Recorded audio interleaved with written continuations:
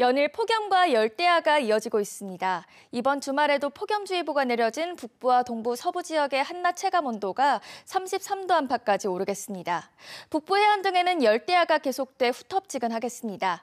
내일 아침까지 곳에 따라 안개가 끼며 가시거리가 짧은 곳이 있어 교통안전에 유의해 주셔야겠습니다.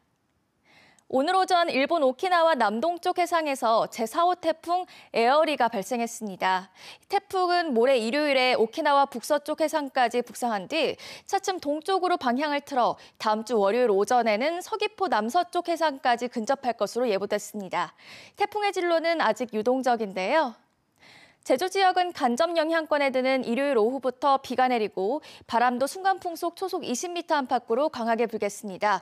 앞으로 나오는 최신 태풍 예보를 살펴주시기 바랍니다. 자세한 내일 날씨 지역별로 살펴보겠습니다.